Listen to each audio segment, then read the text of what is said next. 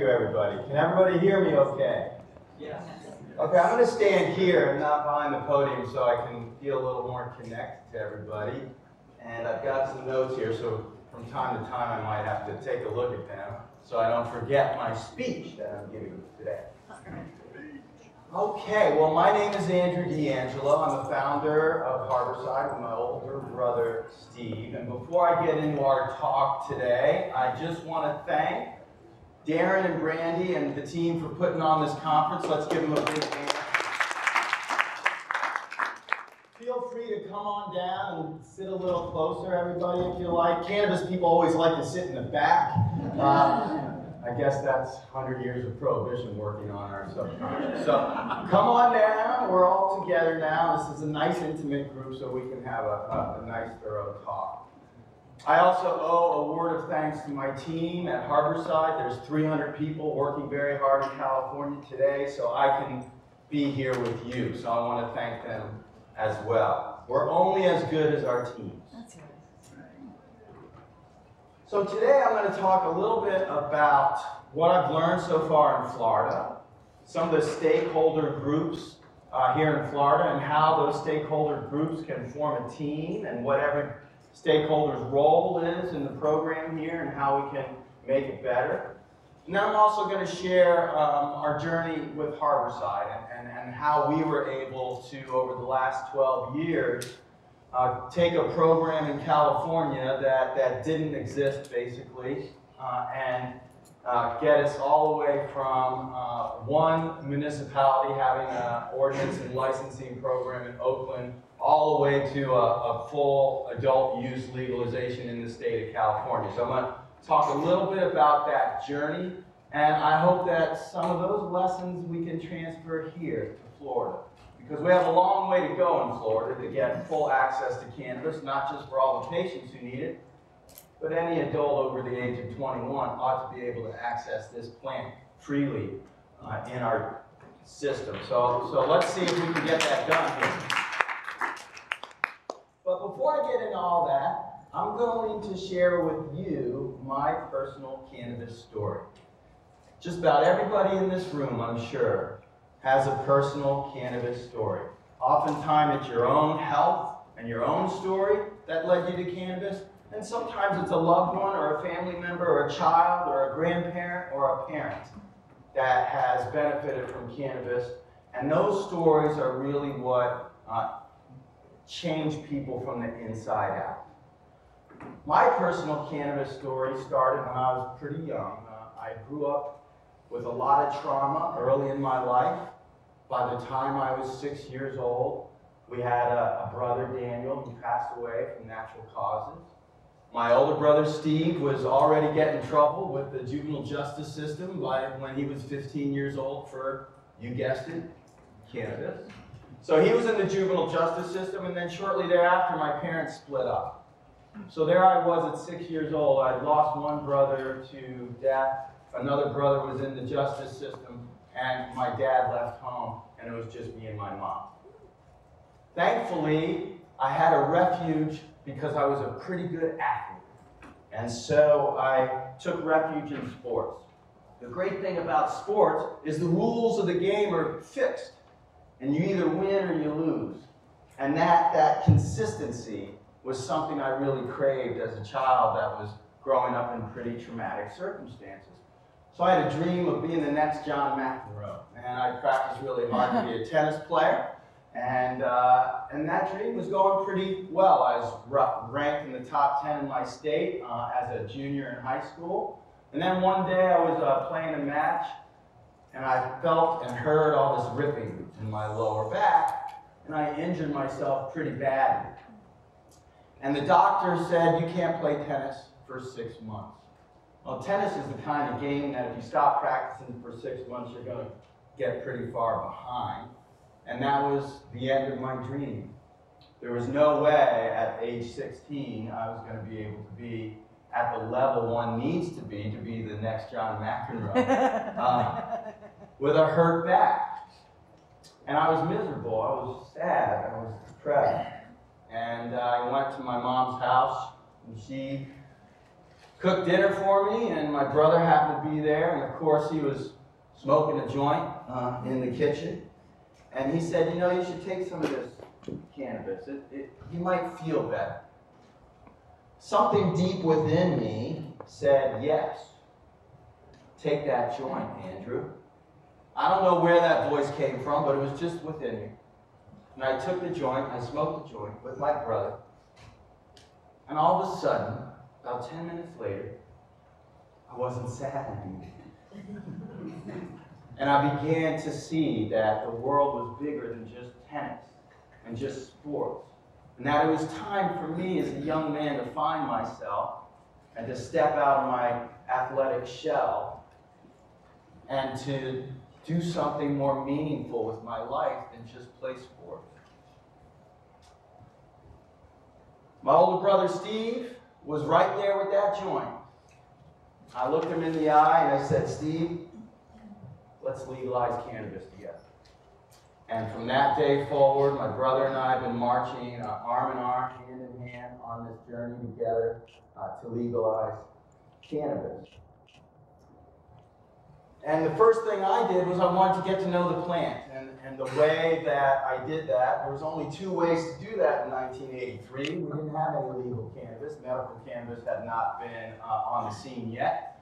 You had to either grow it or you had to sell it. So I started selling weed in high school and advocating for the plant and learning everything I could about cannabis. the great work of this journey had begun for me all those many years ago. And Steve and I figured in 1983, oh, ah, it's going to take about 10 years to legalize cannabis all over the world and get everybody out of prison. 1983. We, we figured about 10 years. We're smart guys. It's, we know it's a good plant, not a bad plant. Truth is on our side. How hard can this be? well, we underestimated Ronald Reagan and Nancy Reagan I'll just remind you of what the world looked like in 1983 because I know sometimes it feels very frustrating right now that we're in a very dark place, especially in places like Florida, even in California. The legal program's kind of a mess right now. But in 1983, with Ronald and Nancy Reagan at the helm, things were very dark indeed. They launched a drug war in 1980. Just Say No was happening Nancy's big cause was just say no. The age of zero tolerance had begun. If you got caught with a joint or a roach, the penalties were getting more and more severe. We were introducing mandatory minimums and the mass incarceration, mostly of poor black and brown people, began in earnest. And by 1983, that was in full swing. Cannabis lies were being told by all kinds of people in the Reagan administration all kinds of lies. Cannabis makes you sterile. If you're a man, you'll go crazy. You won't be able to think right. You'll go insane. Your brain will rot. It's a gateway drug. If you smoke a joint today, tomorrow you'll die of a heroin overdose or a crack overdose. The war on drugs was winning. Yeah. The war on drugs was kicking our asses and locking our people up. And even friends of my brother and I who were in the cannabis business, they were getting locked up. Not just for a little while, for a long, long time. They were winning on all fronts the legal front with the laws and the mandatory minimums, and then the workplace front. That's when this whole urinalysis testing started in the 1980s. We fought that. We felt that your urine was something that was private. It was your urine, it's not their urine, no one can look at it, it's a private thing, right? Well, we lost. We lost all the way in the Supreme Court, we lost that case. And even on the cultural front, we were losing. Does anybody remember that big movie in the 1980s, Clean and Sober? Uh. By Michael Keaton was the star of that movie. I'm probably outdating myself. But then also there was a after school special. You remember the Hallmark after school specials? There was one starring Scott Baio called Stoned. Both of those pieces of propaganda scared the crap out of people. And on the cultural front, we were losing. It was a very, very dark time. Well, eventually I was able to go to college. I decided to leave the East Coast. I grew up in Washington, D.C., didn't like it there. And the promise of California was calling me. And so I went to college in California. I packed up a half pound of weed in my suitcase. In those days, you could actually do that and get on an airplane.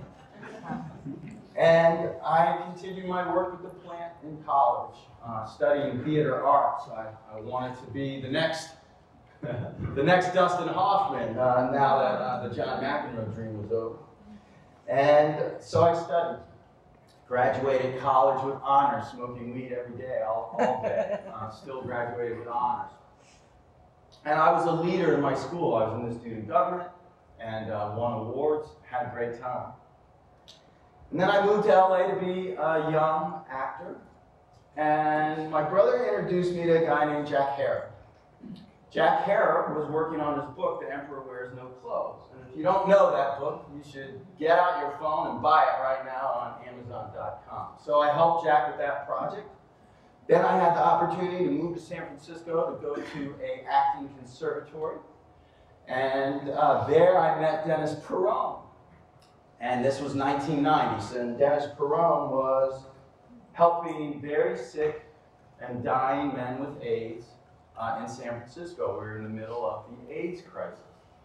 And Dennis was giving away and selling cannabis to people that were very, very, very, very sick, including his own partner who was dying of AIDS.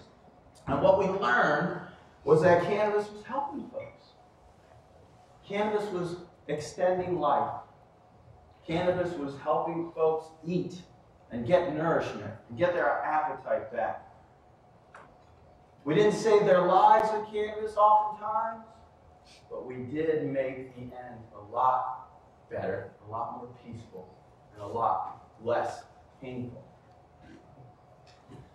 Dennis, brilliant guy.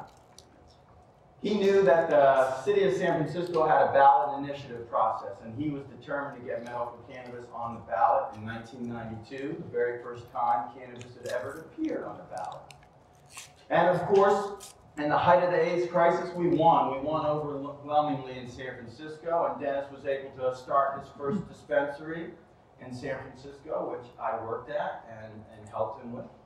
And then we geared up for the state. Prop 215 in 1996, and I helped collect signatures for that effort. Worked on the campaign, made a lot of phone calls, pounded a lot of pavement, and we won that vote by 59%. First time a state had flipped, and all of a sudden our movement had some momentum, and it looked like the wind was at our backs. That same strategy of putting things on the ballot was repeated in many other states all the way for the next 20 years, all the way right here in Florida. Yes, it took you twice to win, but when you won in 2016, you won with 71% of the vote, folks. That's the highest that's ever been done.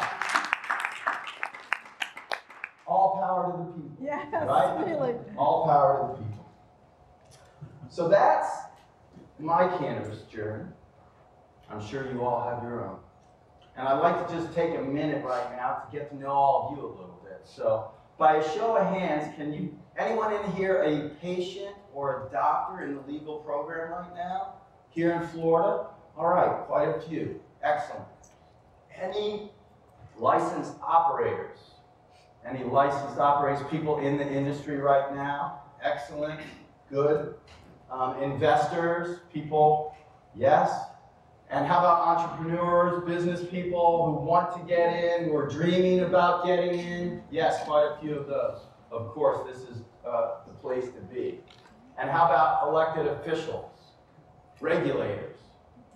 I guess they didn't come to it. They were invited. They were invited, yes. How about DEA agents? Any DEA now?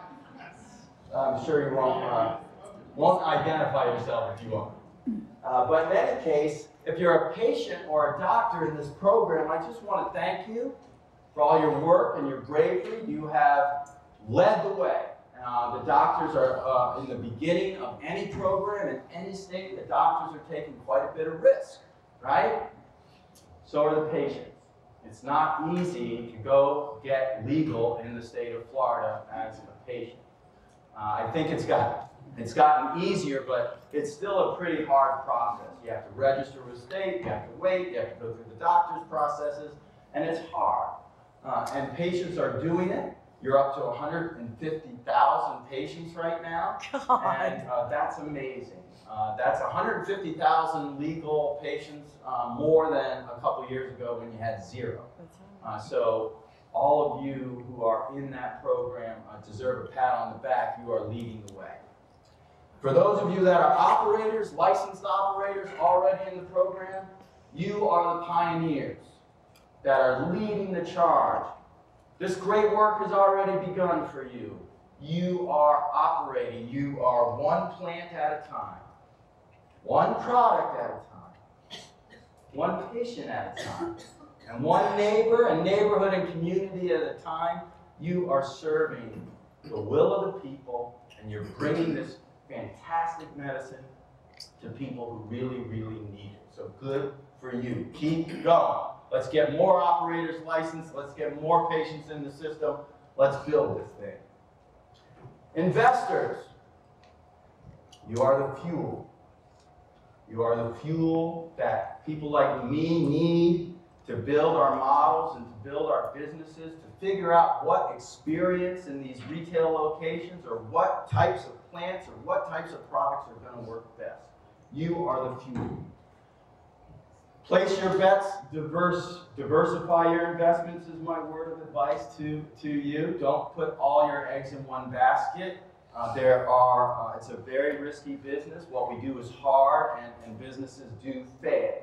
Uh, so spread out those bets and continue to be courageous, continue to invest. We need you. That fuel is what's going to get us to the next level.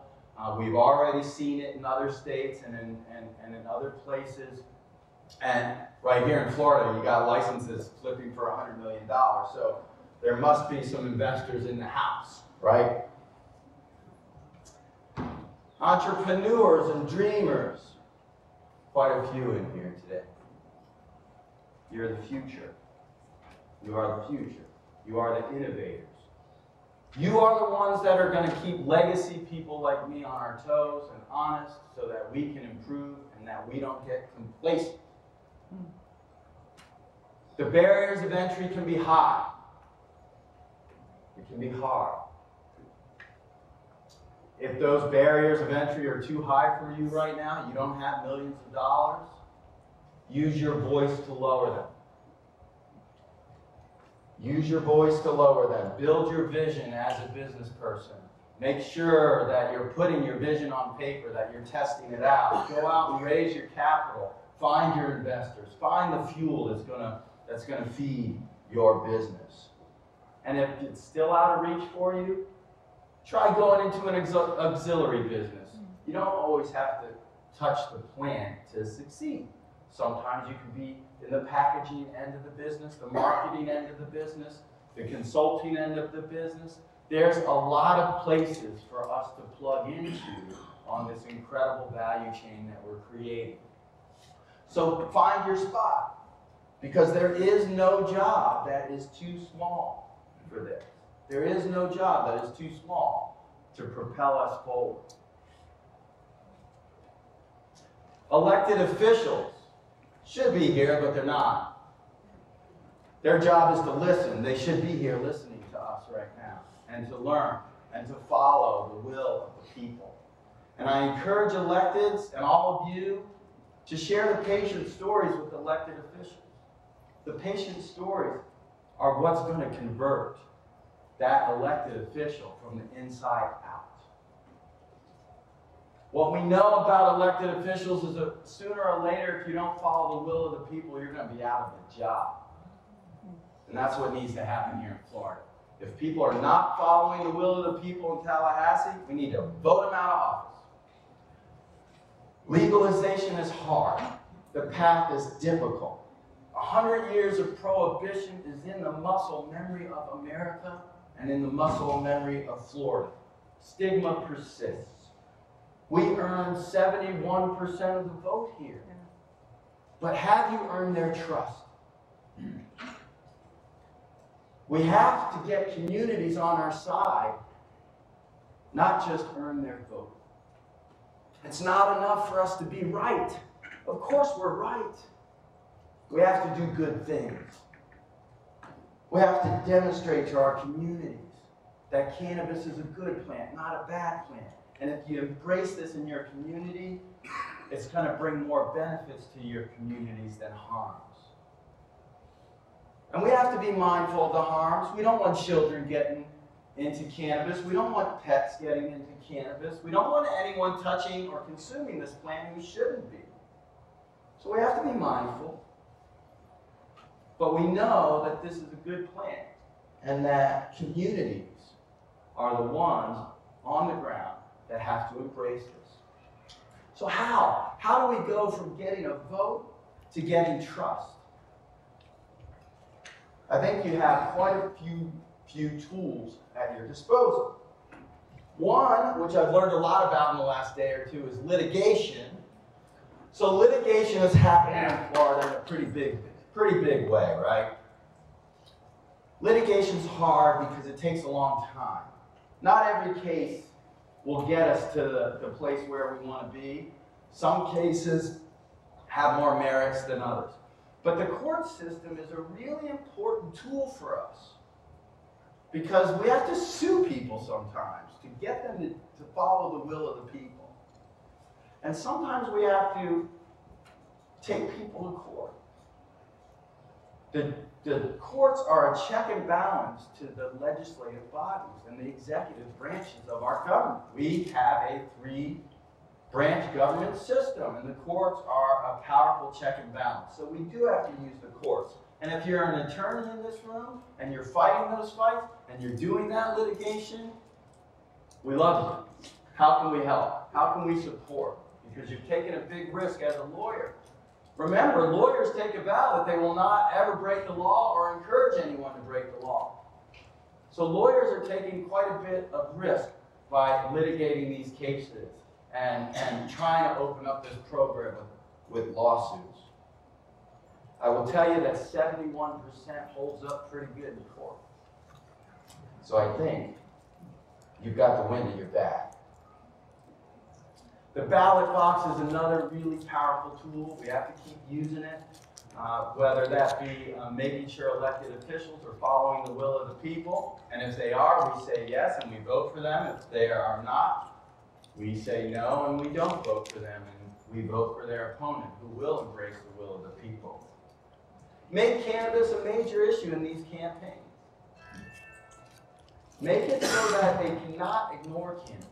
Elected officials always want to push it under the rug, not talk about it. They want to talk about something else.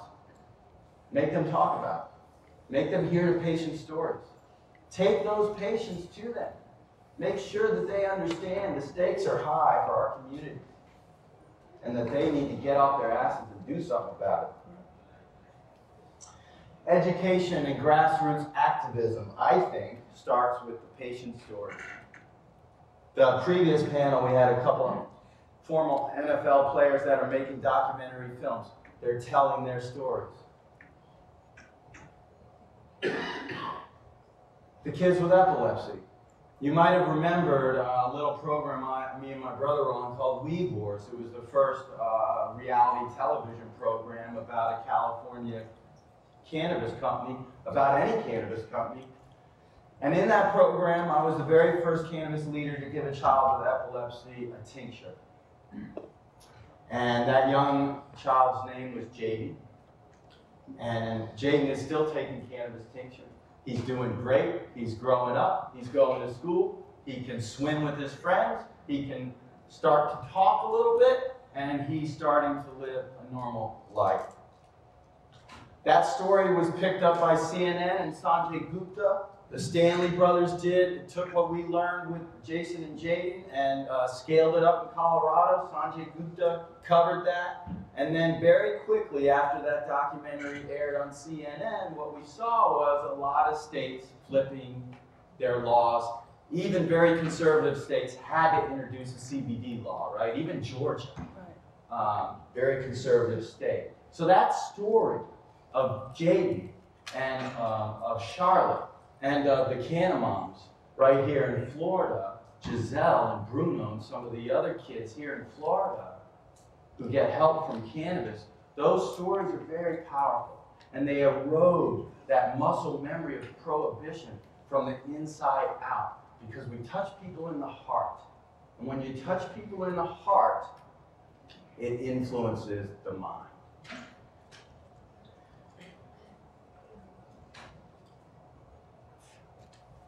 The press, the press is the platform where we tell the stories, right?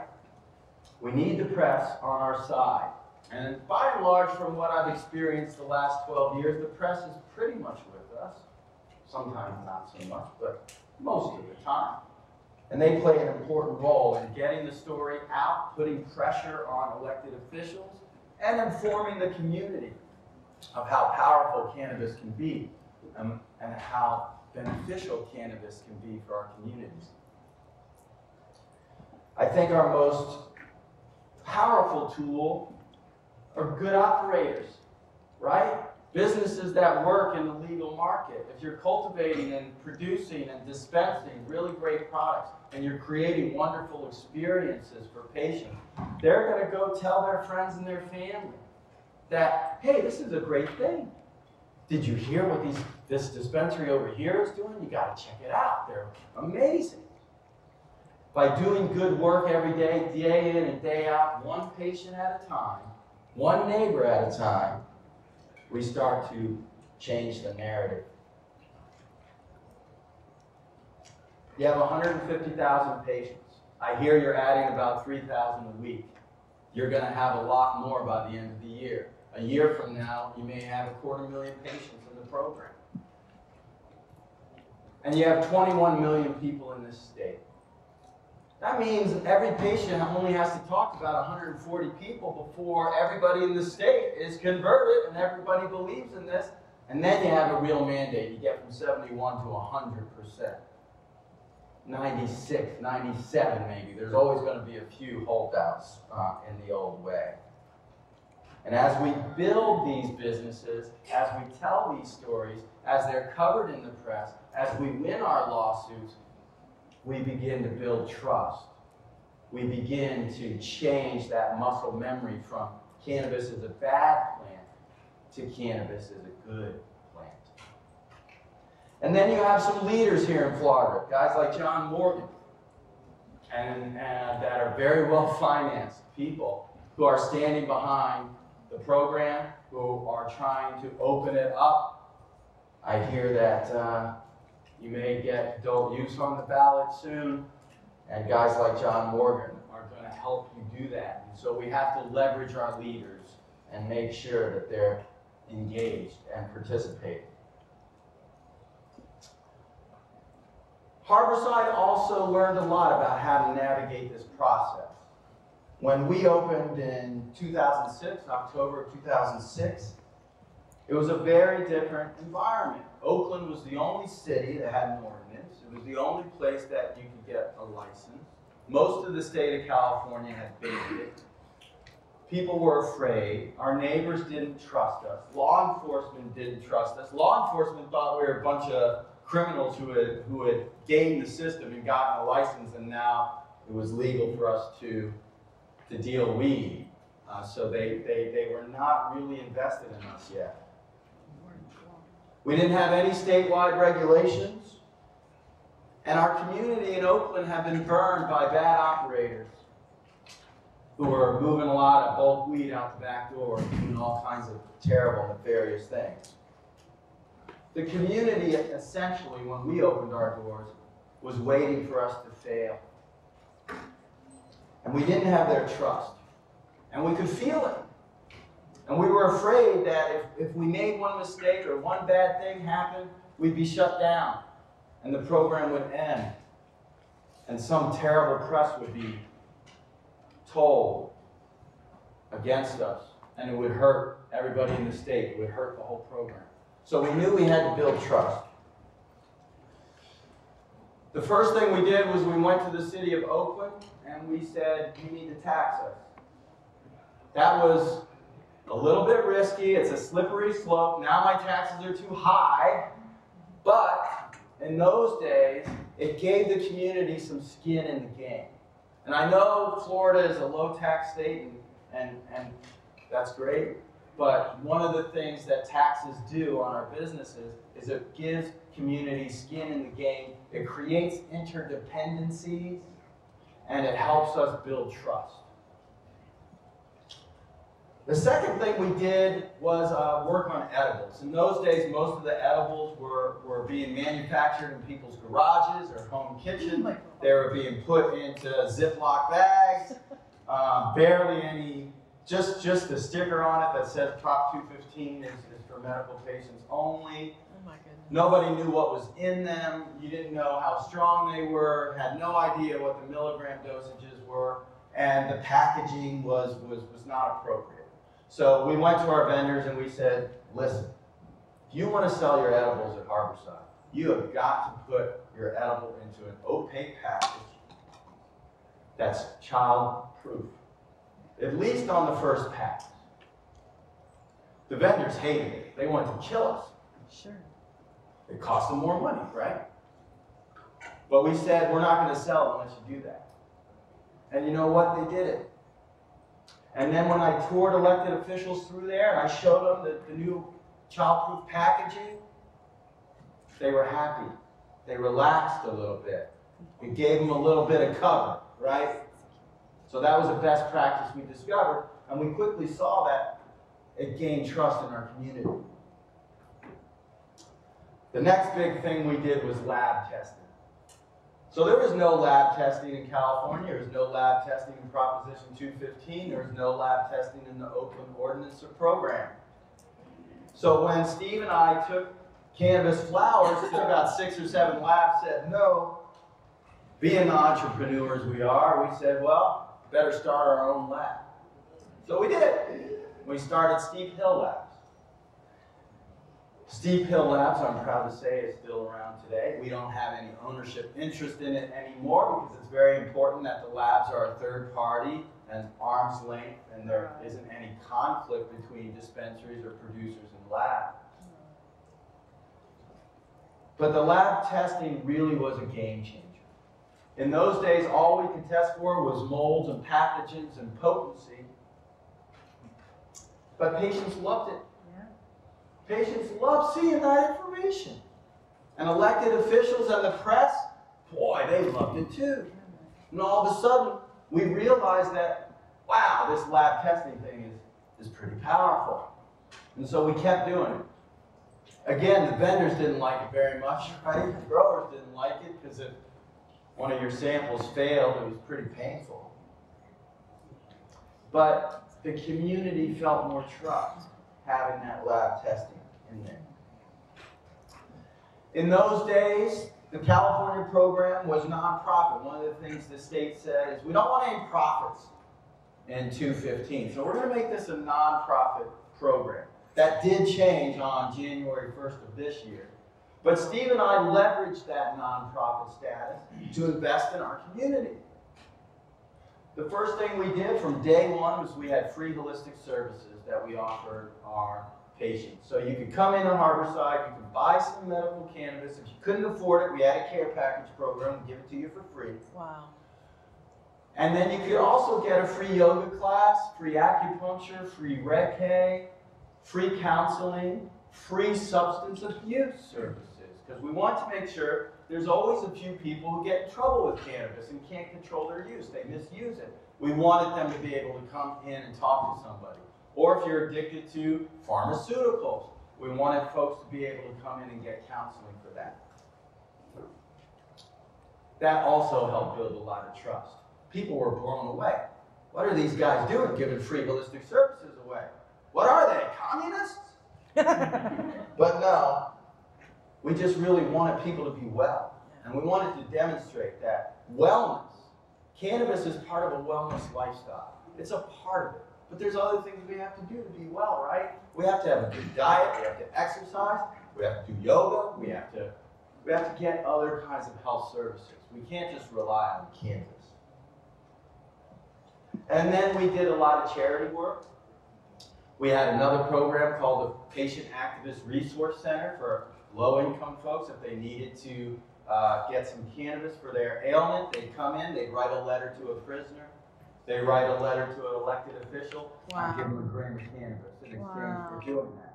We generated over 10,000 letters to prisoners and over 5,000 letters to elected officials. It was a great program. I can't do that program anymore because the state and the new program, the new adult use program, won't let me give anything away for free. Oh. But all of these things we were able to do. And they worked. They built trust in our community. And they gave us a, a bigger and better story to tell.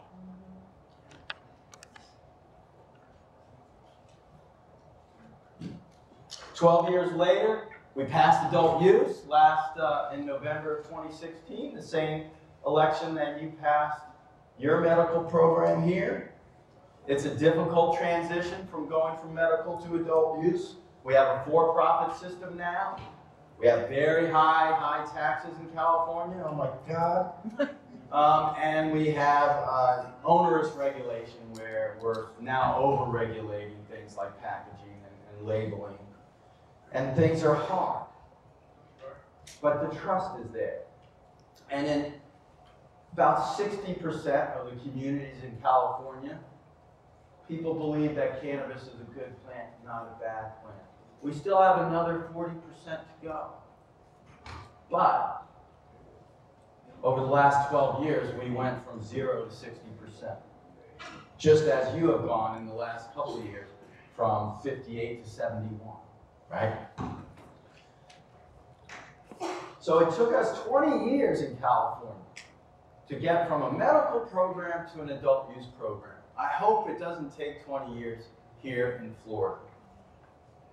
And when I learn about Florida, I learn that it's really hard right now, but I'm also really proud of Florida. You are the first southern state, the first state south of the Mason-Dixon line, in a very serious way, take this on. You're doing it. We You've won the law. You've got 71%. You've got a mandate. The wind is at your back. You're going to legalize adult use here in Florida, and you will be the first southern state, I believe, to do that.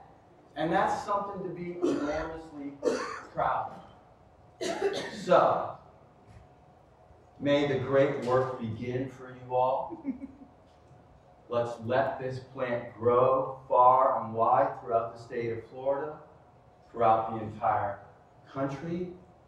Let's prove to the world that cannabis is a good plant, not a bad. Thank you. No.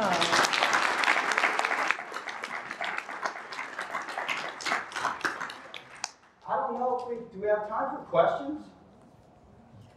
Anybody have a question for DeAngelo? Yes? I have a question. So you work in retail and so you must see a lot of products and different offerings. Where do you think the innovation is happening right now in the industry as far as product? That's a great question. Thank you. Great question. Right now. Um, well, we're starting to see some innovation in the other cannabinoids like CBN. Um, CBN is a, is, a, is, is, is a great cannabinoid for sleep. So you're starting to see CBN products. We carry uh, Mary's Medicinals. Does anyone know Mary's Medicinals? That's a that's a, a, a company that makes transdermal patches. They're now making capsules, CBD capsules and CBN capsules. We're carrying them at Harborside. Um, we're starting to see. Uh, we just had a the Lagunitas Beer Company just partnered with a group called CannaCraft in California, and they're making a 10 milligram tonic, carbonated tonic that has, is made with hops. So that drink just hit the market about a week or two ago, and I can't keep it on our shelves. And so I think people are starting to find different ways and taste profiles to deliver cannabis. We're restricted in California on how many milligrams we can put into edibles products. Uh, so you're seeing a lot of innovation on that too. And the market is just changing, you know. The, the most of the heavy consumers and the medical patients that were coming into my shop a year ago, they're all going to the black market right now, unfortunately, because the taxes are too high and the prices are too high.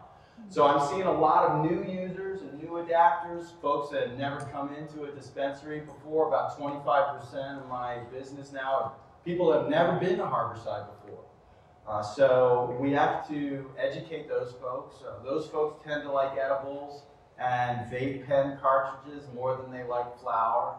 Um, and we're still seeing a lot of sales in tinctures, capsules, um, and products like that. So I think that we'll, we'll begin to see more and more cannabinoids like CBN come online. Um, and I think you'll start to see more formulations, right? Um, you have all these tinctures and formulations now that have a certain amount of CBD and a certain amount of THC. I think we'll, we'll begin to see that also with CBN and some of the other cannabinoids. So I think that that's really, really where the innovation is. It's tough right now because in California, um, you, we're going through this moment where a lot of the artists and producers that do a lot of the innovative products are, are, are struggling to participate in, in the system. Uh, and, and there is somewhat of an extinction event going on with those folks because they can't get licensed because the barriers of entry are too high. I expect that to change as we lower the barriers of entry. Uh, uh, some of those artists and producers will start innovating again. It's really hard to be innovative when you've got a giant complex that you have to keep the lights and the trains running on time. And uh, so we, we, I think we'll see the bell curve kind of go to big producers, and the supply chain will be sort of a lot of mediocre products. Doesn't mean they won't be innovative. It's just they'll be scaled, right? And then at some point, the artists and producers will, will people will get tired of the mid-grade weed out there in the market and they're going to want something a little bit nicer, a little bit more care has been put into it. So I, I, I see the artisans coming back at that point. I I just have one follow-up quick question. So based on that last comment, do you find people will pay the premiums for a premium product? Yes, Definitely. yes. Would you repeat the question? Uh, the question was if you know if it, it, it costs more and the taxes are high, so the, the price of the products are actually going up, especially the really good stuff, right? Because it's being produced in smaller batches and it's uh, got lower supply. And of course, all of us who love cannabis know that you always try to get the best cannabis you possibly can, right? You try to get the highest quality that your wallet can afford that day. Um, be, because most of us, if, if you only have $20 left in your pocket and you need gas in your car and you need cannabis, most people I know are going to buy the cannabis and they're going to they're going to put a gallon of gas in their car and they're going to spend 18 bucks on or 17 bucks on cannabis. So um, I think that, that that trend will continue. So you know, one of the things that happened uh, right in July 1st, we had this new regulations, new lab testing requirements, new packaging requirements, and all of a sudden, some really good weed came on uh, the market, but it was expensive. You know, sixty-two dollars an eighth, plus the taxes, almost hundred dollars an eighth. Couldn't keep it on the shelf. It was really good. It was really good. How good was it? Well, Hundred bucks an inch. couch to lock me for an evening. Um, anybody else? Yes. Uh, with regards to sales, would you say edibles um, sells more than the flower, or would you say Right now, yes. Yeah. Right now, edibles are about thirty percent, carts are about thirty percent, flowers about 20, 25 percent, and then my capsules, my tinctures, uh, make up the rest. We also sell clones and seeds at Harborside, so that makes up about five percent of my sales right now. California, we encourage people to grow their own, right, especially with high taxes. Yes. For California, I know there's been a lot of money invested over the past couple of years. At what point, or do you see a risk of an oversupply of, of cultivation? Absolutely, there's going to be oversupply. Quickly do you see that? Well, it's a good question. We're seeing it in Oregon already. There's a terrible oversupply problem in Oregon. I predict that the same thing's going to happen in Canada, um, and uh, it's going to happen in California.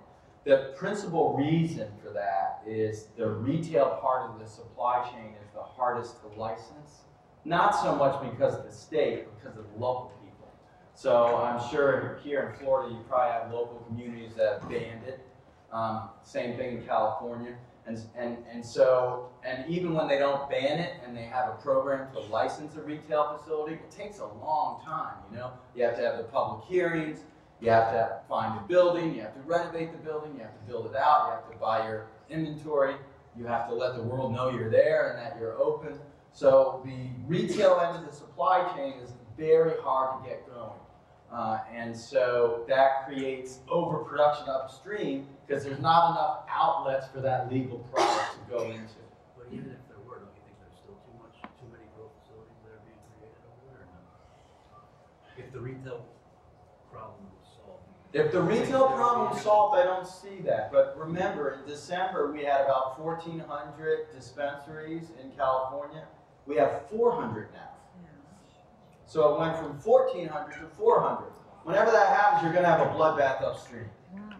Now, we just had some new testing requirements that include pesticides. Uh, so a lot of folks are failing those tests right now. Yeah. So it's not as big a problem. Uh, but I expect those farms to clean themselves up and they'll be clean soon. And, and then, you know, I'm, I worry very much about overproduction and a crash in prices because whenever you have overproduction, there's risk of diversion, and whenever, and whenever you have diversion, there's a risk that, you know, prohibition will rear its ugly head again. So we have to be very mindful of that. It's still here. It, with vertical corporations in Florida, how can any small grower or artisan, as you all have in California, expect to come out here and make a dime? Well, you can't. You can't. You can't right So now. who's doing all that compliance gathering that we all have to go through?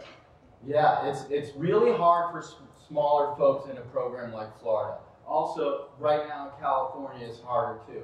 Now, one of the things I've learned about artisan cannabis producers is they're pretty resilient folks, pretty determined folks, uh, and pretty adaptable folks. Just stay at it. You know, like I said earlier, you, you got to do you. We have to lower these barriers to entry. And uh, we have to do our political work, we have to do our activism work, we have to tell all those stories, and, and we have to let communities know that if we lower these barriers to entry, the sky is not going to fall upon everybody's head. Uh, and that's going to take a little time. Community outreach. That's right, community outreach, yes. Can you uh, discuss the Say again? Can you discuss the challenges in in terms of banking and financial services? Yeah. Wow, what a problem. Um, it's hard to get a bank account if you're a cannabis business. Even here in Florida, I read the story about the woman who's running for ag commissioner, I think. Nikki Yeah. Fried. She got her Wells Fargo account Right. shut down. She doesn't touch the plant. She's not even in the business, right? Right. Um, so if you're banking with Wells Fargo now, I encourage you to switch to a different bank. Yep. Um, we have to send a message to those people that they can't do that sort of thing to an elected official. Really? Um, so it's it's a big problem. Um, my advice is credit unions, um, institutions that are not FDIC insured, a little bit more open sometimes. Local institutions a little bit more open sometimes.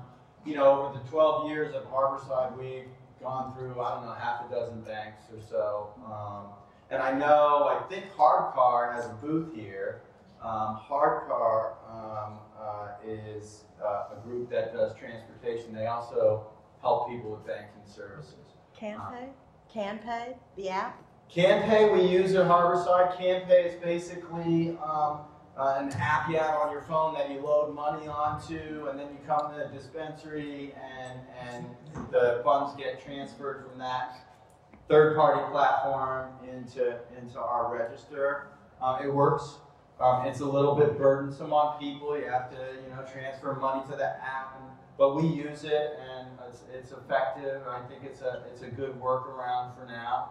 Um, you know, the big problem is credit cards. You, uh, you can't get credit cards. You can't pay for your cannabis with credit cards. You can't use any uh, credit cards. That's very hard, especially on delivery services. We have a delivery uh, uh, service at Harborside, we can't take credit cards. We can't prepay for those delivery orders, so our drivers have to take cash at the door or debit card. We do have debit cards, um, but you know, you know how mobile debit card machines don't work a lot, um, and so oftentimes we're sitting there trying to get the debit card to work, and we're not in a hotspot or whatever, and we can't get it to work. So financial services are incredibly constrained. We gotta wrap up. Okay, maybe one more. Have you uh, have you looked into Bitcoin at all, or Bitcoin. Oh. Or any cryptocurrency. I, Yeah, or I- any- we don't do Bitcoin, um, not because I don't want to do Bitcoin, I just don't understand it. Um, and, and, um, uh, but, but I know that there are, are, like High Times Magazine is, is selling shares to They folks right now, and they'll take Bitcoin apparently. they aren't? No, they They can't. They stopped. They stopped it, okay. Uh, So uh, I think that you know crypto cryptocurrencies I don't I don't have a lot of expertise in, so I can't really talk about them too much. Right now we're not taking them, but conceptually I wouldn't have a problem with that. My problem is okay, so I've got all this Bitcoin in my account, and then my landlord says the rent's due, and I can't pay her with Bitcoin. Right. And so it's like, oh, what am I going to do with it all? You know, it's a, it's a little bit of a problem. One more question. Okay, so if the verticals, so here, you know, you know how there, there's verticals, so the dispensary can only carry their own, Yes. right? So we've got Trulieve, VidaCann, Surterra, um, you know, I, I won't name all of them, but, Yes. so, if they had a crystal ball, and if they knew that they were gonna get broken up, and now they have the ability to carry each other's products, would it be a good idea to do that voluntarily before the verticals are broken up? Sure. I mean, um, I, I, I, I don't see any downside to, to sharing your products across the, the different vertical businesses. Um, I like horizontal. Yeah, I like Um, open markets, but I yeah. like, I mean, you know how constrained it is, there are no products. I mean, they're their products, but Yeah, I do. I mean, uh, none of us are touching the plant or making a lot of money right now. And we're, we're spending a lot, but we're not, we're not making a lot. Um, and um, I like horizontal. Um, horizontal is better for the consumer. It's uh, better for the patient. It's more innovative. It creates more competition. What I worry about here in Florida is you have this vertical system. You have these licenses that are going for an insane amount of money. These folks are investing. Part of the reason it's $100 million to get a license here is because it's vertical. right. So if the state decides to go horizontal, then all these people are going to sue. And there's going to be all kinds of litigation from these huge investments that have been made in the vertical. And then I, I just worry that it's going to lock the system up and you might get injunctions on things from the courts and it could be a real quagmire. Uh, 280E. Oh boy, that's a whole nother talk. That's a whole nother talk. But uh, it looks like we're out of time and we have to get on to the next panel. I really enjoyed being with you